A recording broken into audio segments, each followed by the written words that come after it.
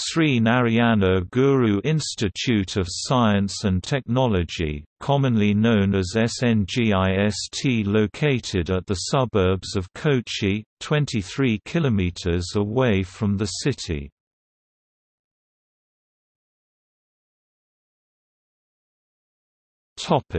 Governance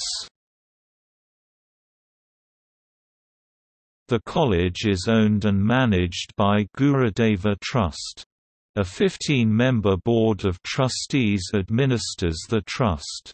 The main objective of the trust is to establish centers of excellence in education based on the preachings of Sree Narayana Guru.